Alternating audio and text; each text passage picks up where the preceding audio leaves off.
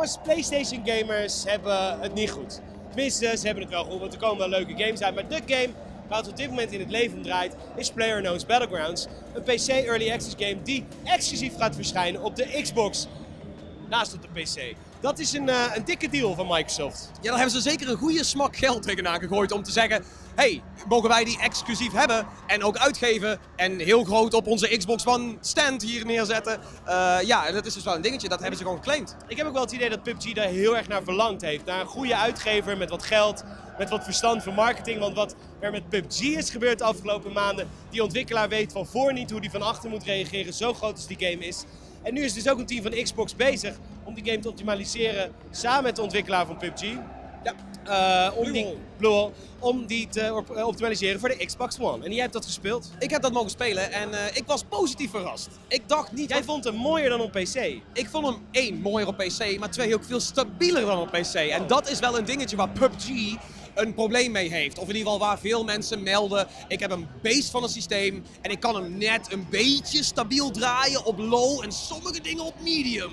En dat is dan een PC van 1600 euro. Ja. Uh, dit was wel de Xbox One X versie, uh, die dus ook 4K draait en die nu al relatief stabiel 30 tot 40 frames per seconde draait met 100 spelers in de wereld. En er dan ook nog mooier uitziet dan de meeste mensen met een high-end PC de game op PC kunnen draaien. Waar heeft dat mooie mee te maken? Want ik zeg dan direct als echte PUBG-speler, het moet minder mooi. Want dan zie je je tegenstanders beter. Als je hem op low speelt, zie je eerder je tegenstanders dan op high. Dus eigenlijk hebben Xbox One gamers een groot nadeel.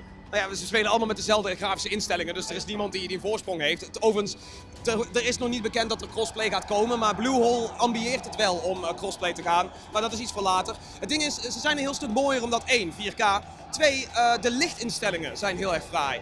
Uh, de game voelt echt warmer aan. ze hebben meer gold rays en dergelijke. Schaduw en licht lijkt beter afgesteld hier. En dat is misschien ook wel een dingetje waar Bluehole en Microsoft het heel erg fijn hebben dat het één platform is. En niet honderden verschillende videokaarten met honderden verschillende CPU's. Dus het is één platform, het is afgebakend, het is een beetje gesloten.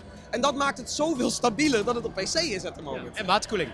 Nee, grapje, nee, grapje, oh, grapje, nee. grapje, grapje, maar, maar grapje. Maar luister, het was fucking heet in die kamer. Het was echt... Door de kokende waterkoeling. Ja, oprecht. Het waren, het waren tien systemen, tien Xbox One X'en met tien enorme uh, Samsung QLED schermen. We werden oh. helemaal... We, ik, was, ik kwam er zwetend uit. Ja, heel goed. Ja. Uh, ik heb één dingetje voor de PC-gamers. Wij spelen heel graag uh, PlayerUnknown's Battlegrounds. Dat weten jullie, je ziet het bij mij op stream. Uh, ik heb het idee dat de PC-game hier niet beter van wordt. Ik heb het idee dat, dat, dat, dat ze heel erg op de Xbox aan het focussen zijn. En dat Microsoft gewoon dat, dat, dat die zak geld heeft gebracht. Ik heb het idee dat de ontwikkeling op Xbox One sneller gaat dan op PC nu. Lijkt me wel, want daar is een deadline. En natuurlijk, ze verdienen smakken met geld aan Steam. Maar op Steam is er niemand die zegt, het moet dan af zijn. Nee. En Microsoft is gewoon wel zo van, hé hey jongens, hier is smak geld, we helpen jullie.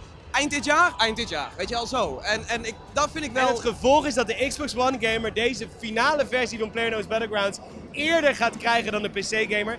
Want ik vind het belachelijk hoe lang het duurt voordat ze met nieuwe mappen komen. Ja. Wie, wie de fuck interesseert zich twee nieuwe wapens? Je wil gewoon nieuwe omgevingen.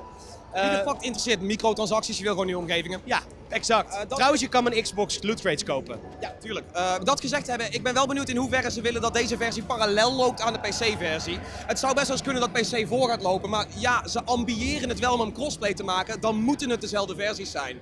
En dat zou wel zeggen dat ook de Xbox goede development een beetje overgedragen kan worden naar PC. Hopelijk. Maar dit is allemaal speculatie en ambitie. Nou, ik kan je vertellen hoe het gaat. De PC-versie is een early access, levert bakken met geld op. Maar, de, maar Xbox, hetzelfde verhaal straks. Maar bij Xbox zit er elke twee dagen iemand aan de lijn bij hun. Van, hé, hey, hoe gaat het? Zullen we niet eens opschieten? Moet dit niet? Moet dat niet? Kunnen we je daarmee helpen? En dat is het verschil. Zie, ik zie Phil Spencer al bellen met Player. maar oprecht, dat is wat er gebeurt. En daarom komt de Xbox-versie eerder dan de PC-versie. Brandon, Phil. Brandon, Phil. Het wordt dus tijd. Ja, het wordt tijd. Ja, we gaan eraan werken. En, eh, zal ik nog een nieuw wapen maken? Brandon, hou je back. We willen een nieuwe map. Ah, oké dan. Maar goed, superleuk dat hij super vet uitziet op 4K. Wat dat betekent dat het kan. En dan komt hij uiteindelijk ook in die vorm naar PC. PlayerDo's Battlegrounds voor Xbox One. Hij komt eraan. Winner, winner, chicken dinner. Hoe kun je dat niet gezegd hebben? oh ja, ik aan jou. nee, ik ben inderdaad derde geworden. Dat is mijn record, sorry.